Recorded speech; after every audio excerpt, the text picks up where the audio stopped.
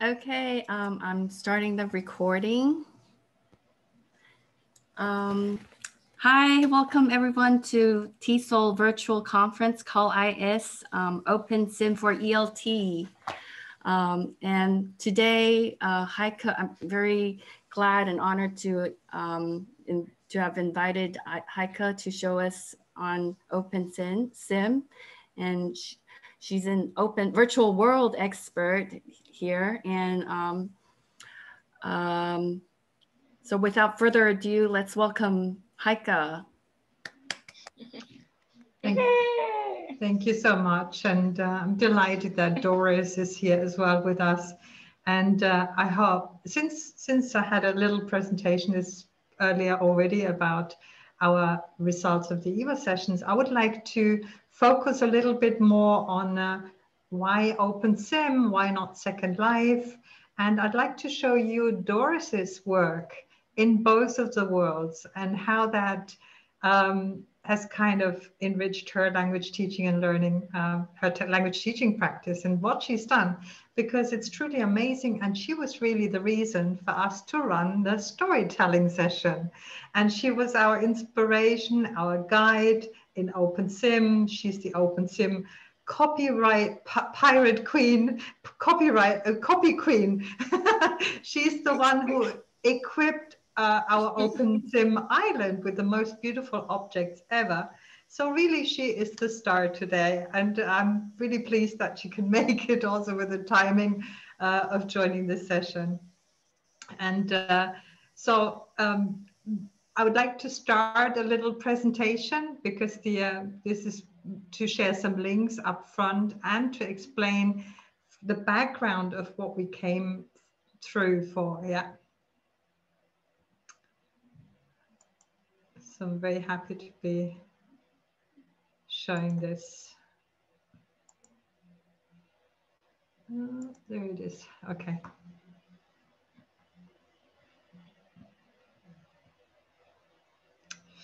Um, it, it is fairly the same presentation as this morning, except for a couple of references. And uh, I would like to um, thank Randall for showing us a little bit around Edunation Islands. And I'm delightful, and we'll, we'll do in a minute, show you a part of Edunation Island that has to do with Doris, yeah? Um, these links and references, I'm quite happy to put them in the text chat in a minute when I pass over. Um, the Edunation Islands have been in Second Life for 12, 13 years, nearly now. And here you will find the link to Edunation, which Randall demonstrated this morning and his beautiful uh, water region next to Edunation 1. And now we've set up Edunation Islands in OpenSim also. And OpenSim, this address needs to be put into a what's called a viewer. So it doesn't go via a website and same like with the other link, Second Life link actually ends up addressing a certain area in a viewer. In Second Life, it's mostly the Second Life viewer and in Edunation, it's, well, we, we use third-party viewers, viewers like Firestorm, for example, Firestorm Viewer, for example. Uh, there are others around. I'm, I'm pretty happy with Firestorm Viewer.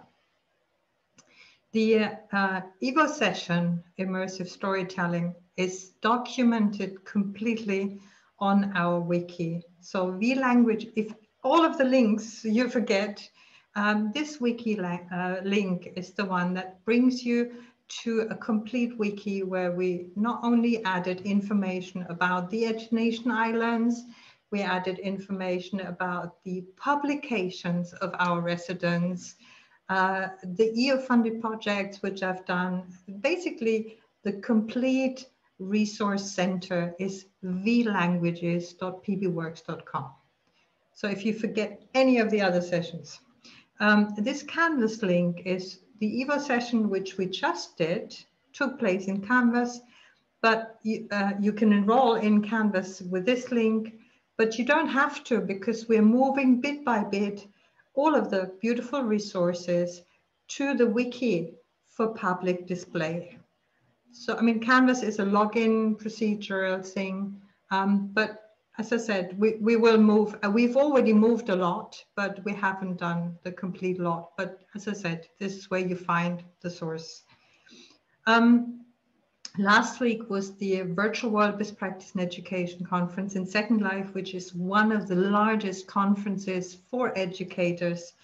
And it has quite a world ranking because it takes place mostly in the American time zone and it's run by these people who work for really, really top level universities like the Harvards of this world and the MITs of this world. So I was delighted and honored to be a keynote there for our V languages strand. Uh, also, together with Doris and Helena, we presented there When Harry Met Jeannie or How to Fall in Love with Fan Fiction. Um, but the most important thing is what led us into taking us into OpenSim. And I think this addresses also the group of people here who are broadly interested in 3D spaces. Like we heard from Aaron just now about Minecraft, how he's actually even set up servers, administers it. We heard from Vance how Minecraft MOOC in the, I think the seventh consecutive year has uh, has been a breakthrough even this year again. They've done so fantastic work with Minecraft as a beautiful, rich resource. And what we did was last year is we compared all of the different uh, settings. We've, well, we looked into it. We, we, we called on the experts. Yeah. So when we heard, okay, there's Immerse Online, we called on the expert of Immerse Online and it was Lukasz Palacek, and he presented to us Immerse Inside Out as a teacher that he's been using it. He told us more about what students have to do. Is it free of charge? What can they do? So we have had a huge, long evaluation rubric that looked at all of these different worlds on many different angles. Um, is it free? Is it safe for children?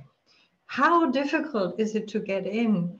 Um, what can you do there? Can you just change clothes or look good? Or can you actually manipulate the spaces? Can you have your own room? Um, what what is the um, does it do voice chat, text chat? Do you need a, an HMD, a headset to be there? Um, how easy does it run on different devices? And, and, and we asked tons of questions, yeah? And it's a big, huge evaluation grid, which I'd love you to look at um, it compares it all. And in the end, what we did is we we made a hit list, yeah. And the hit list was just so fantastic for us because we voted for the most popular one. And you can see here in our main presentation, that's again V Languages Wiki.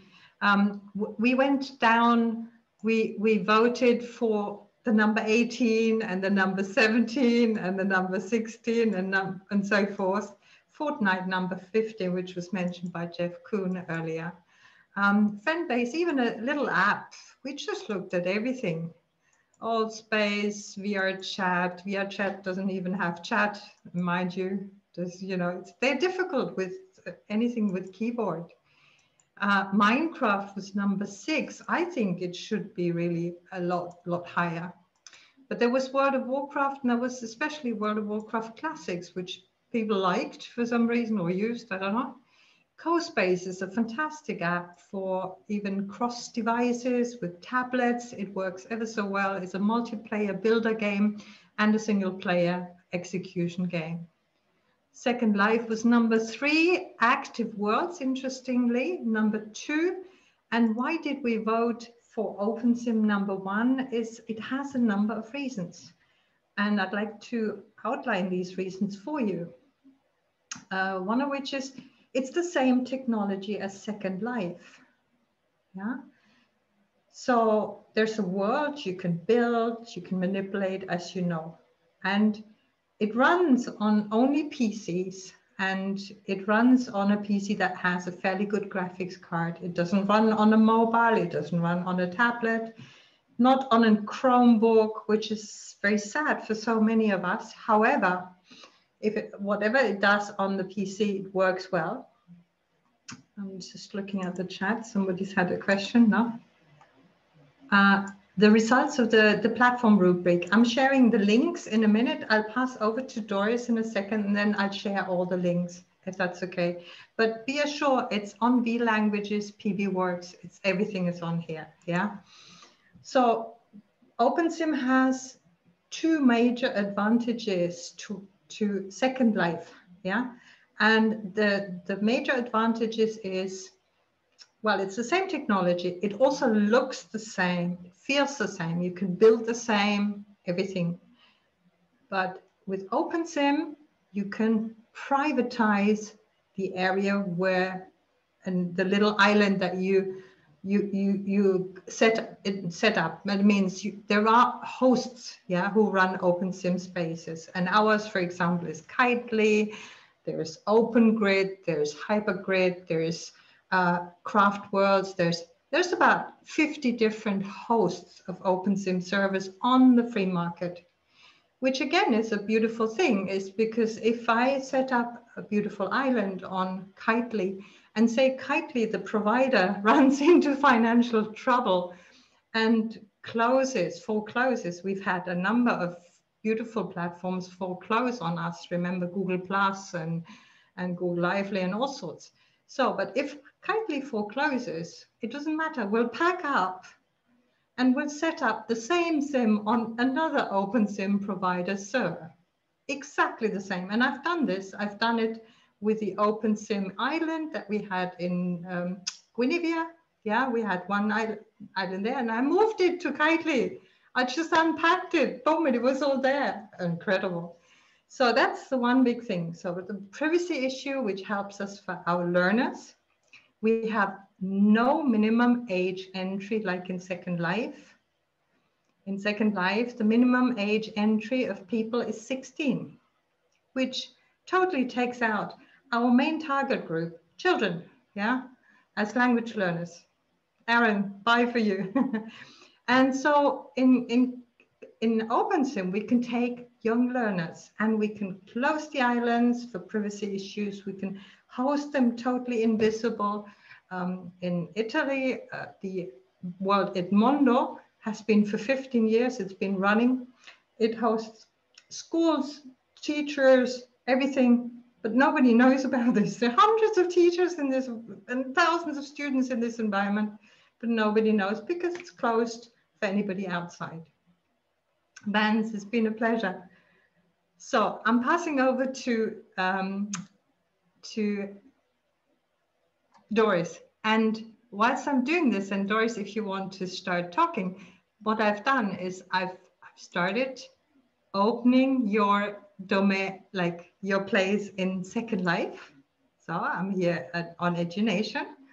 That's her castle and her the start of her fantastic project. And here we are on Edunation in OpenSim. And here's Doris standing in front of me with her headsets because she was the, the DJ for our last party. Yeah, so this is Doris, beautiful Doris. And uh, all of this around us is basically her work. So fire it away, Doris. I'm going to pass this over to you. I can keep screen sharing if you like, and you tell me where to go, or you can happy to provide with the, the slides to continue with your slides because we're here. Oh, okay. Uh, are you listening to me? Yes? Yes. I, I mute uh, Zoom. Uh, so I'm talking here in OpenSim. Would you like me to I, show your slides or, or use show oh. the slides or whatever? Oh, you want my slides? No, whatever you want to do. Up to you. It's over to you. I'll stop. Uh, I, I have a slide, you know. As a matter of fact, cool. we have go ahead. slides. So, well, and so you can come uh, with me, and uh, take you where the slides are. Okay. it. You can you can describe what they are looking at. Well, in a nutshell, what Doris has done is she's used the Cambridge uh, podcast called Virtually Anywhere and visualized the story of Virtually Anywhere in Second Life and in OpenSim. And for me, this was an eye opener, an absolute eye opener. First of all, how can you just take a podcast? It's a great story on this podcast, but it's just a podcast. So, not even a picture of this whole story. And then Doris created this in Second Life. Beautiful 3D buildings. She goes to China, she goes to, you know, South America. Go ahead, Doris. I'm not taking it away from you. So, I don't know. Should I share the screen? Yes, please. Okay. Well, so this this is uh, PO Destiny in, in Kaiki. In Second Life, she's Pioneer Destiny. it's the same one. So uh, as you can see here in this area, this is our social area where we have our parties. And let me see if I can. Well, now you see all the badge. Uh, okay, here.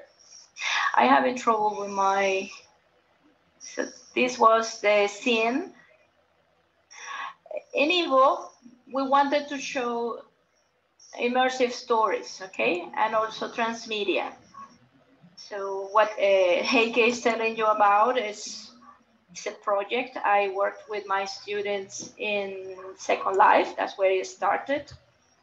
As, as she also has pointed out, uh, let me go there and show you the slides so you can look a little bit.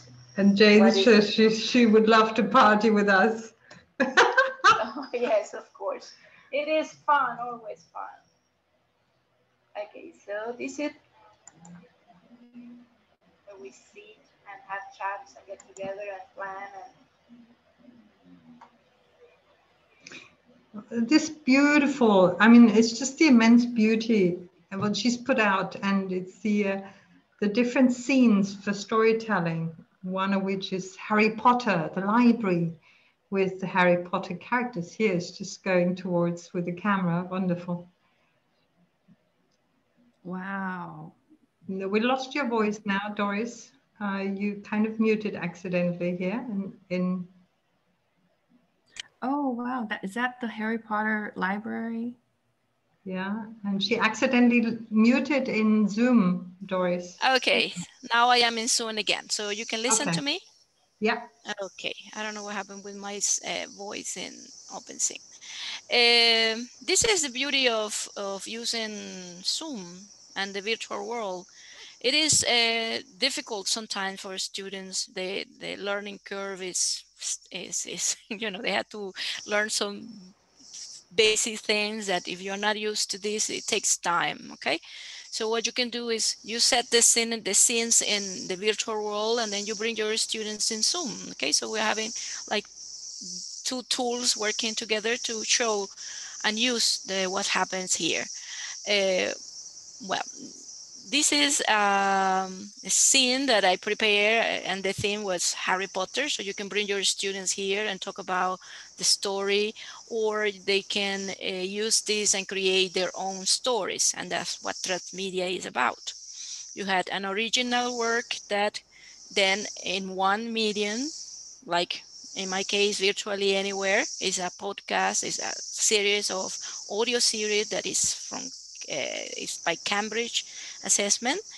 Uh, it's so beautiful done, the audio, that when I was listening to it, it was like I was imagining the scenes. Okay. And I said, okay, we can have this, not only the audio, but the real scene in a virtual world. So that's what we did. And that's where everything originated. And then we got, I came across fan fiction. And fan fiction is something that students do. You know, they love uh, uh, changing things. They don't want the ending of a story, so they get a new one and they write it down and they use the same characters, but in these different situations. So for the Evo sessions, we wanted to uh, give uh, participants uh, places where they can use their imagination and create new stories. Okay, so as you can see here, we have a, a special guest. Bernie Sanders. If you if you recognize him okay? So yes when we were in the middle of the classes that was uh, on the news so it was fun. Okay i said okay we're going to take bernie we're going to invite him to our scenes. So um, uh, again this is one of the scenes. Here you have my slides. You wanted to have my slides. This is the uh, here. You can if you just click here then you're going to watch a video. Okay, so you can use different media in world as the same as you do in, in Second Life. And this is the audio and oh, it says error connection. Must be my, my internet today. Or somebody messed up with the with the with the presentation. Okay, let me get back to you know, all of this is ready because this is what we work with. So your invitation to participate today for me was a, a surprise. I didn't know. So, um, but everything is here. So you can come anytime, check it out, look at it. Uh, it takes can a little just, time. Can I just mention one thing um, that was also a challenge for Doris, but she managed ever so well, is her students some of them were German students, there were business students, what have you. They weren't actually, they didn't join Second Life. Yeah, some for time issue reasons, some for restriction of technical equipment, whatever the weather. This is also could also be our challenge um, that we prepare a certain environment for students like Minecraft, for example, and then they cannot join. So what do you do? And Doris, um, this was also the question that came up uh, by our participants. They said, well, if my students are Chinese, they have no way of joining this virtual world because the VPN doesn't allow it. Yeah. So um, what we then figured out is that, and this is what Doris did, is she she joined her students in Zoom and shared her screen. so, and so this is one of the slides, and here you have the three characters of the story. And the story, the original story has uh, six episodes. We created two extra episodes, and they were uh, set in the country where the students uh, are for, uh, from. Uh, I have students in Germany, I have students in, in Argentina. So they selected two sites one in uh, that's uh, Pucará de Tilcara in Jujuy, where I am living now, is a, a Inca fortress, and it's a, a, place of interest. You know, so we uh, created a, an episode where these three characters, as you can see, here you have them again, but now they are different. This is Paul, Gita, and the professor, because I didn't have this the same NPCs that I have in, in Second Life. This one is the Second Life version. Okay, this is a part of the second episode. And here, these are the characters in uh, Kitely. Um, again, what I did in, in Kitely for the, to show what uh, Virtually Anywhere was about is create the scene, the first episode, the scene, where Paul and Gita are discussing about their uh, university uh, work. Okay, they have to prepare a report on a site, archaeological site. They are they are archaeological students, so they start fighting and arguing about which place to use. So Paul wants to go to visit the Terracotta Army in China. Gita wants to go to Teotihuacan in Mexico. So you get all the elements of the story here.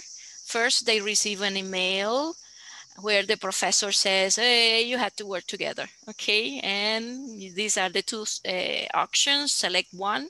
But he says it is important that they work together, but they are very different. They have different personalities and they never get along well, okay? So that's what is the, the first episode about, the assignment, that's the name of the, so what I do with my students that we listen to the episodes we, while we are discussing the vocabulary or what happened in the episode, uh, I show them the, You know, if we're talking about Teotihuacan, I show the picture of Teotihuacan so they have an idea what it looks like, okay? And also, are you having difficult time with your group coursework? Come to study, run, eh, come to study room 42 in the Darwin building at 3 p.m. Okay, that's the story. Here, you can also find uh, the materials that we need for this uh, scene, for this episode, the characters, the plot, where it happens. Okay, all of these elements are the ones that you had to take into account when you're going to design the scene for your stories. And here you can get, uh, if you click here, you will get a note card that I don't know why it's not working right now. Okay, it comes. Yeah, we have to take it easy. there you can see I have a uh, folder that goes into my inventory and then all there are all the instructions, okay, like questions after you listen to the story, we discuss the story, you ask comprehension questions or vocabulary or, you know. The idea is that the students know the characters and they connect with them. Okay, so you got the team that supports uh, Gita and the team that supports uh, Paul. They are very different. One is very intelligent, smart, and responsible, and the other one is lazy. Okay, so, uh, and this is the room 42 where the second episode happens.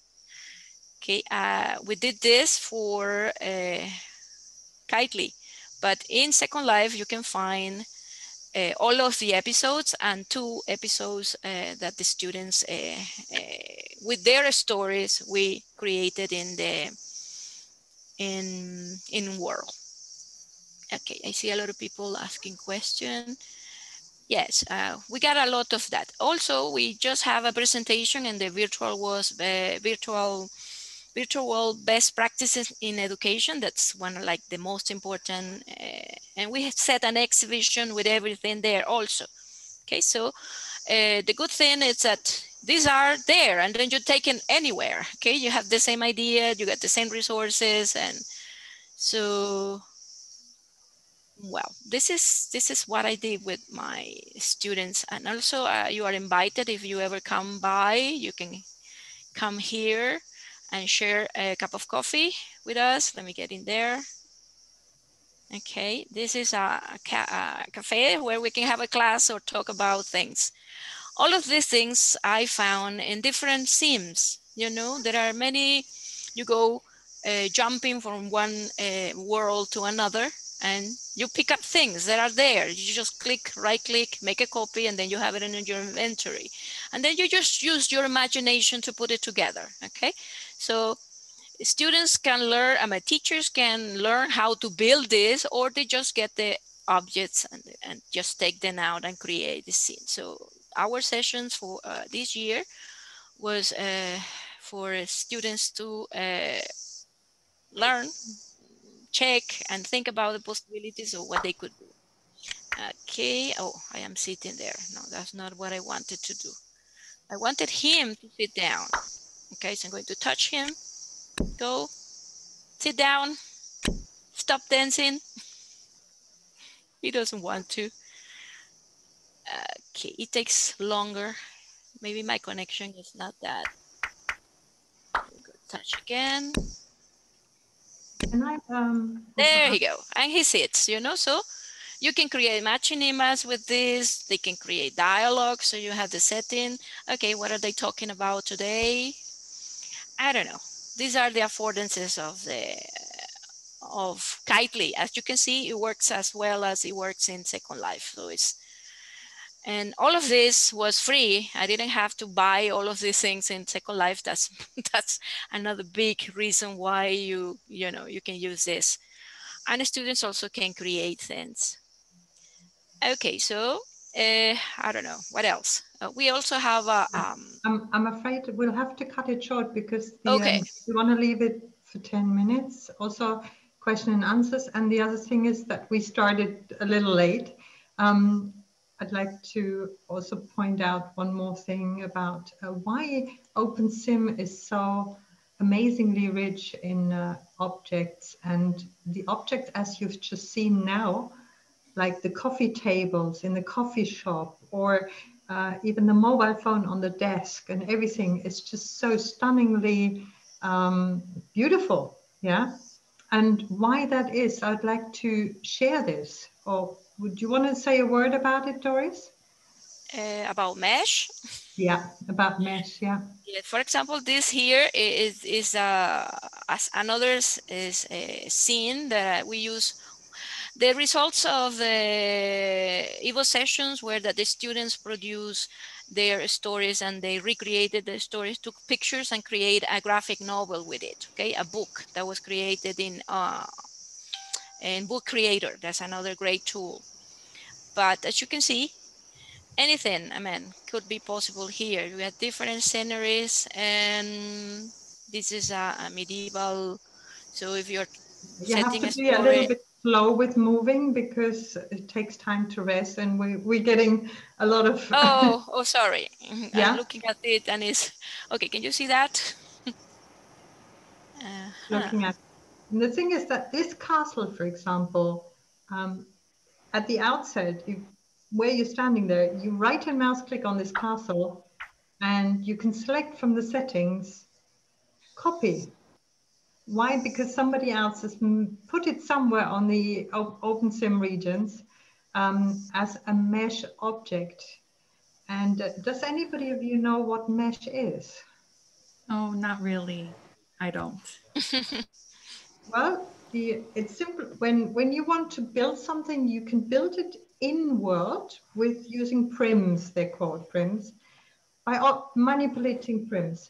The trouble is, if you leave this world, all of your work of creating, modeling, and beautiful houses and trees and what have you stays behind in this virtual world. And that was the trouble at the beginning of uh, virtual worlds. But now what has happened is um, you can create these 3D objects, and it could be just be an apple or a chair or a TV, whatever. You can create these 3D objects in software outside of a virtual world and the software could be Edge, um, could be Blender, could be any other software for 3D modeling. And then you take these objects and import them into virtual worlds. And then these objects are yours as a creator. They stay on your computer. They're kind of your uh, and, and you can import them in various different worlds. I mean, there are people who create mesh objects for Second Life and for Fortnite and from, you know, for OpenSim, and they import them everywhere because, um, yes. the, yeah, and so they that's how they make money, the creators, oh. which also makes them put a lot more effort into the beauty of objects. And um, I'm sorry, we have to stop this, Doris. You keep okay floating around in outer space. I would just wanted to show you uh, what it was like before mesh and what is you can see the difference between mesh and and for example this house is not made in mesh. These uh, objects are not mesh. Mm -hmm. So, but you had both, okay? Mm -hmm. This was you know something it's that estimated that Second Life uh, is 90% mesh and, and, and 10% still the old stuff. Yeah, exactly. Like, you know, uh, just some, some textures on, on objects are very simplified. Mesh is true 3D. So the objects look a lot more 3D. They're very detailed. The textures are very beautiful. They're done with love. And so this is why Second Life has beautified. And I, I can give you a little bit of an impression of what this what this looked like in time ago. But whilst we're doing this, we ask for, we're wrapping up, we're asking for, um, for um, questions and, and questions, yeah? I wanted to show you this one. So, so I, I can just start this, the, the presentation now. It's at the end of a presentation. Yes. But do you see this, this image here on the left-hand side? That was in 2009 when Second Life was at the first peak. It started 2006. And this is a dog, two dogs on the floor, and we us playing with the dogs. Now, today you can go, and this is here on the right hand side, you can go horseback riding in these kind of environments. Do you see the level up? Yeah. Yes. Uh, si similar with um, Amazing. avatars. Graphic. The graphics of the avatars that were there in 2009 was this is what we looked like. but today, this person has so shi- shine in the eye. They have facial expressions. They smile. They, you know, it's amazing the, the beauty. So uh, this is where mesh comes in. That all mesh bodies now, mesh clothing, mesh bodies, what have you. And this is why this is why this this you know learning Arabic in, in Second Life has become that beautiful. Learning Greek in Santorini Island in Second Life, uh, learning Japanese. The, the, these Wow. the pictures you never forget with every vocabulary that you learn Spanish in Cuba. Yeah, the vocabulary stuck in your mind. So language learning in Second Life is so impressive. Yeah. Well, that, that that is really very amazing. Um, do, do we have any questions in the audience? Okay, we have um, Andrea. Andrea says it's very, really very impressive, and um, I think he was asking about whether or not there that this can be do, played on low tech Mhm. and, And, um, I, I recommended CoSpaces for tablets because it's the only 3D version that I know of that works on tablets, apart from Minecraft. Mind you, Minecraft works on everything. It works on mobile devices, it works on the HMD, it works on the laptop, it works on a PS4, PS2, game station. Minecraft is incredible and it's so popular and it, it's wonderful. Go for Minecraft.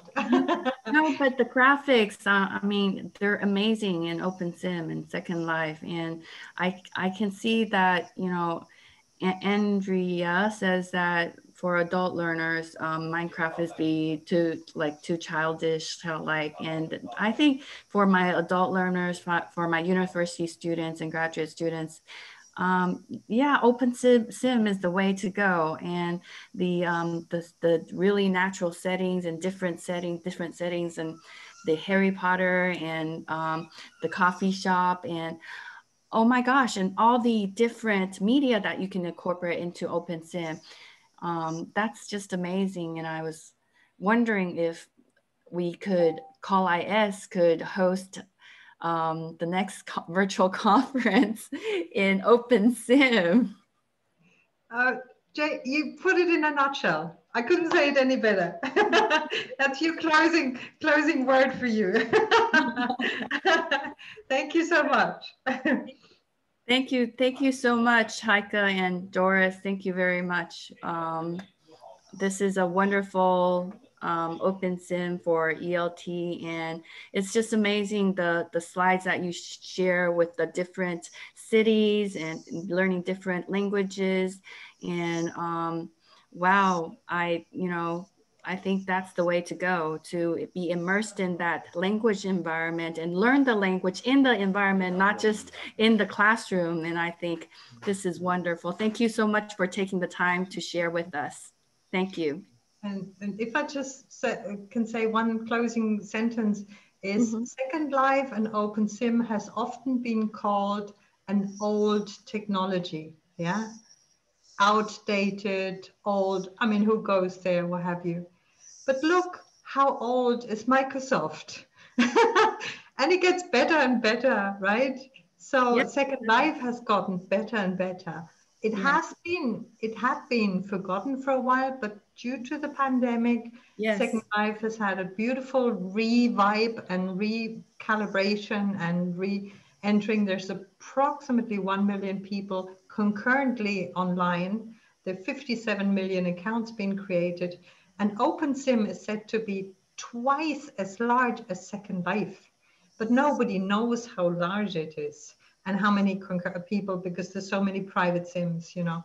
But it, it truly is a wonderful, uh, it's, it's a blessing to have it.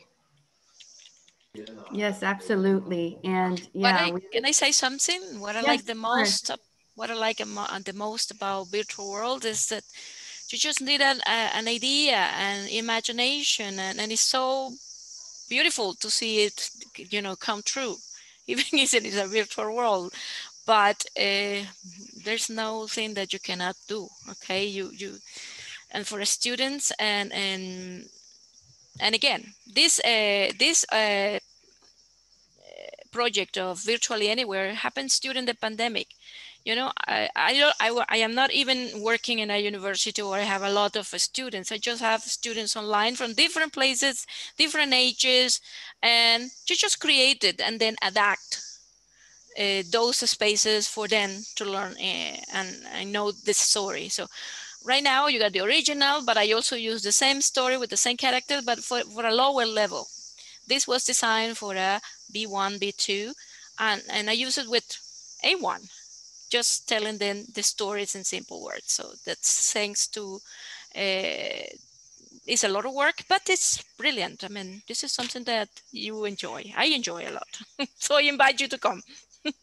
Thank you so much. Thank you yes. for inviting us and listen to so us. much for sharing. Yes. Um, so we'll, I'll need to conclude the session because we're having our sessions back to back and, and let's give them a round of applause, our Heike and Doris. Thank you.